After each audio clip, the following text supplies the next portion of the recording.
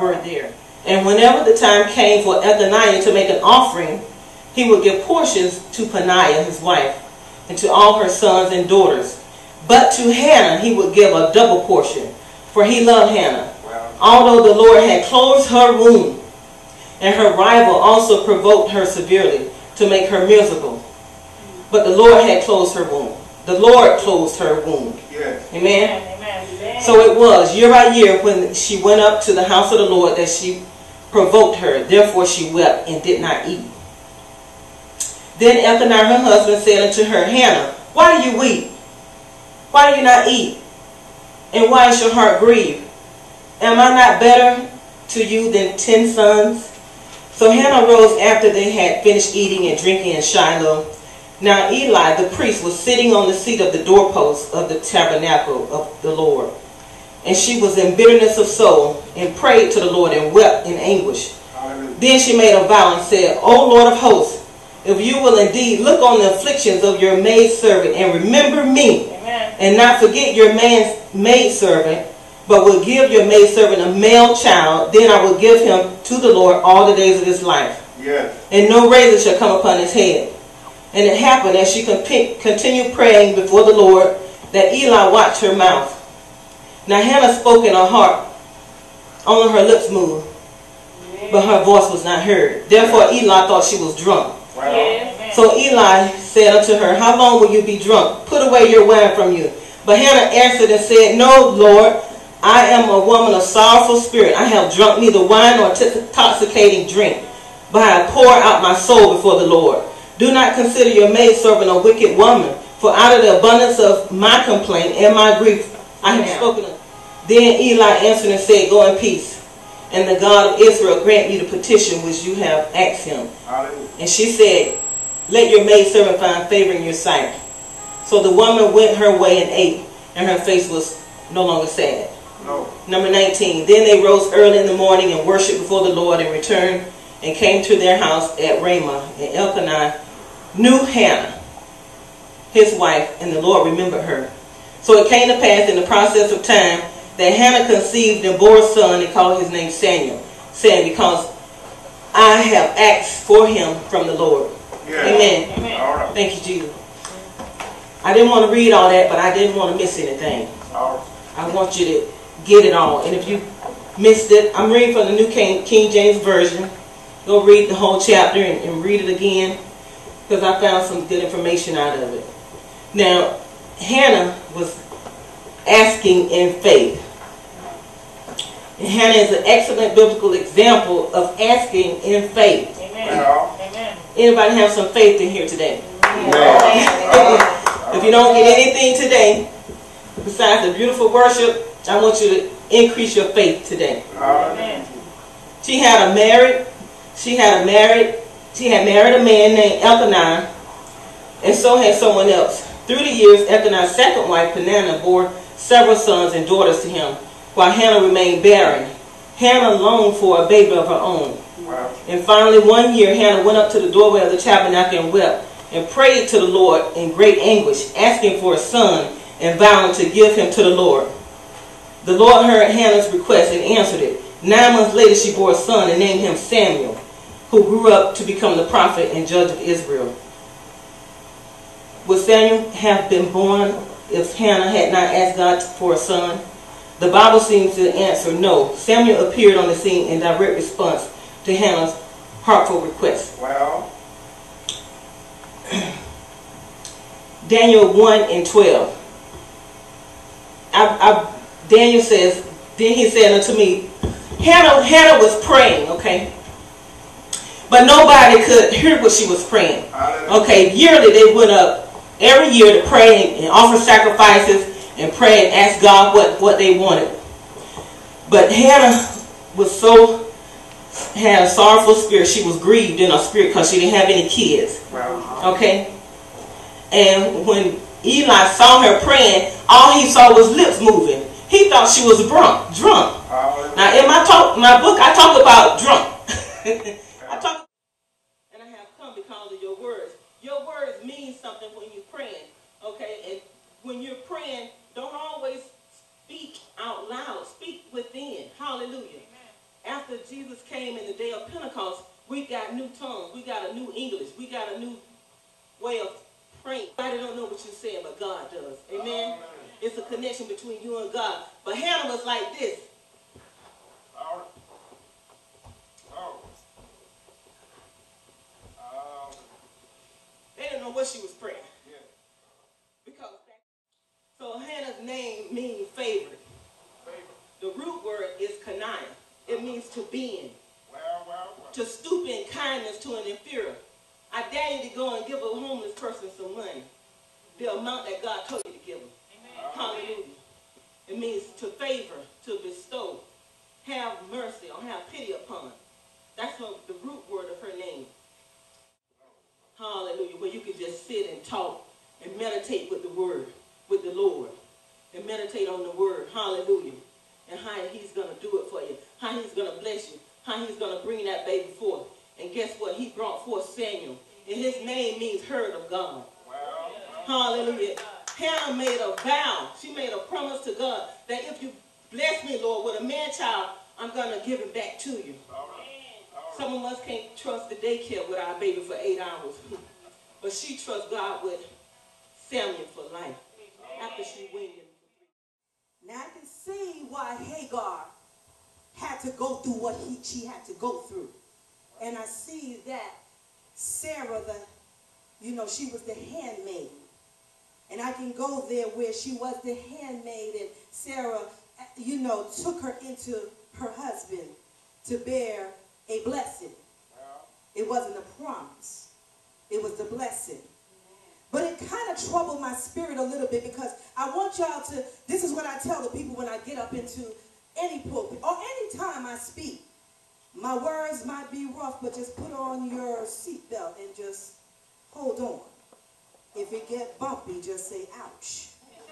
Because my ministry is called changing you from the inside out. And when I look at what Hagar came from, I'm like, how can I put it so pretty for Hagar? Well, because Hagar, we're going to do a little history. And I was doing a little bit more studying because I said, God, you got to give me something pretty on Hagar. Yes, he heard, he heard her cry in the wilderness. But she also told her that your son going to be a wild man. Wow. His hands are going to be on other people and he, other people's hands are going to be after him. We are suffering it today in Iraq. Okay. Hagar's name was uncertain, one who seek refuge. Okay. I had to study and find out that she was uh, placed in the uh, the Abrahamic religion. She also came from Egypt. So she had other gods. She understood other gods. If I can give you any message today, it's we'll call this relationship. God chooses relationship over conflict. God chooses relationship over conflict. When I was reading the story about her and how she in Genesis, give me a second, Genesis 16 and 4, and how, I'm waiting for it to come up on my tablet, but how Sarah brought in, brought her in to you know, impregnate, for um, Abram to impregnate her. Now, let, let, me give you a little breakdown. I, I break down because I did, one time I did a conference and we talked about the lineage of sin. And we talked about the old mindset and before Abram and Sarai was they were they were told they were chosen they had a, prom a promise over them. But sometimes when we bring the old things in, remember Hagar was in Egypt and this was her handmaid. And they brought her in and other things. And I think I preached a word one time about a Lot. We like to bring a lot of stuff with us because he said, leave your descendants behind leave all that stuff behind. But sometimes we can bring in some stuff that God has not told us to bring it in with us. Okay. like I said, it will get bumpy because I'm gonna I'm gonna touch on some stuff and and I respect the woman of God. I respect Hagar. But remember, like I said, she served other gods.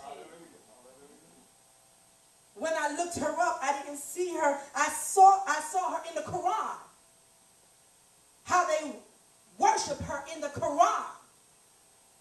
So I'm like, God, what can I say about this woman of God? And all I heard was relationship over conflict. Because I can say that sometimes as women, we do some things that we're desperate in and we, we tear up some relationships. We don't want to submit under some stuff. We don't want to submit under our husbands. We don't want to submit under the things that God has called us to do. And sometimes conflicts can come inside. So when we see things come in and coming in like a flood, and we want God to lift up a standard against it. I told a young lady before I got here, I said, baby, I know you going through some stuff, but what I want you to I want you to look into, what is it that you opened up the door for? What was the door opened up for? It says in 16:4, when Hagar got pregnant, she despised Sarah. Mm. Mm. Okay. That's your handmaid. But she now despises. She got pregnant and she has a seed in her. I want you to listen to this. You got a seed growing, so whatever you plant, it's going to grow. It's going to grow. So now some conflict is coming in. But where the relationship was to bless your handmaiden. But I thought about it. I said, God, did she really agree to do this or was she forced to do it? Did we think about that? Was there some bitterness already put in there? That now we're seeing the seed from today. I, I'm, I'm very transparent. I have a seed that was planted. And I'm very open. And I said that, you know, I came from prostitution and my daughter was a prostitution baby. So when I see where she's at, I got to repent for the seed. Because I know that seed could be turned around. He would turn her around. And I stand on his word every day of what he said. So, okay, I got it up. In 16, uh, chapter, that's Genesis 16 and 4. So Abraham had sexual relations with, I'm, I'm reading in the New Living Translation. Abraham said sexual relations with Hagar. And she became pregnant. But when Hagar knew she was pregnant, she, she began to treat her mistress Sarai with contempt. Then Sarai said to Abram, this is all your fault. Mm, mm, mm. Can, can we stop there? Okay. How many times we put our foot in something and we now want to blame somebody? Okay, this is all your fault. Uh, and, and, and the word sounds pretty familiar because it's making me go back to thinking about what Adam said about Eve. It was the woman you gave me. So everybody want to play the, the blame game. It ain't no man, ain't no woman. We all got the same game we play. It's that woman you gave me. It's all your fault, Abel that this happened. I put my maidservant into your hands, but now that she is pregnant, she treat me with contempt. The Lord will show show who's wrong, you or me. Mm. okay, we, we, we ain't going to touch on that. Abram replied, Look, she is your servant, so deal with her as you see Then Sarai treated Hagar harshly, that she finally ran away. Yeah. Okay, I'm going to elaborate on that. She treated her harshly. Now, this woman did not ask for this. But now, again, I'm, I'm talking about the seed, the mindset. Because if we go into the lineage, it was after the flood, God was looking for a certain type of people to carry on the name. So he chose Abram and Sarah Amen. lineage to carry it on. Yes, yes. But because we were chosen, it doesn't mean that what we left behind can't follow us sometimes. Amen. What we do can't follow us sometimes. Because there's a breakdown when Sarah was barren, you know, at the time she was barren. Now, she have Isaac, and Isaac now goes to Rebecca, and Rebecca is barren.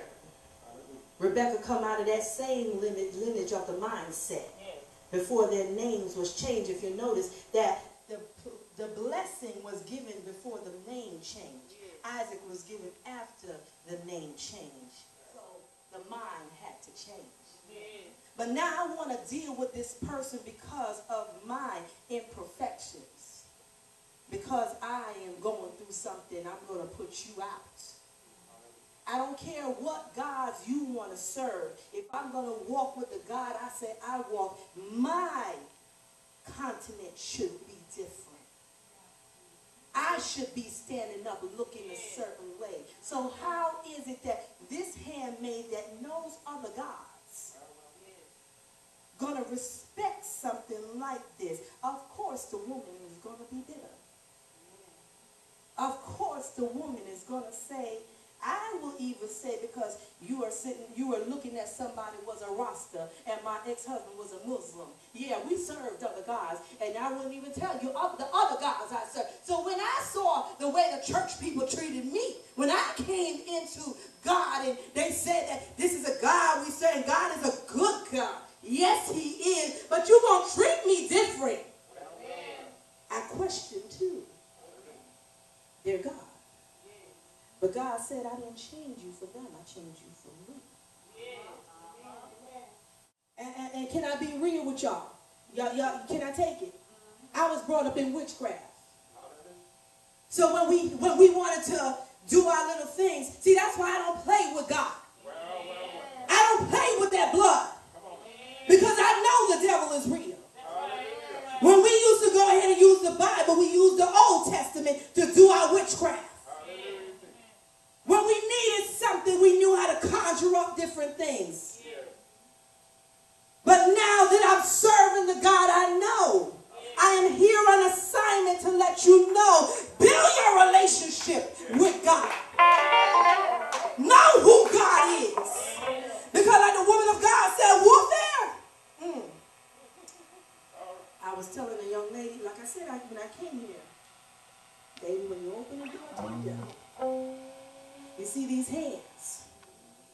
they got to be clean. I can't go back. I can't dip, slip. I can't do it. Because I've crossed over to another side.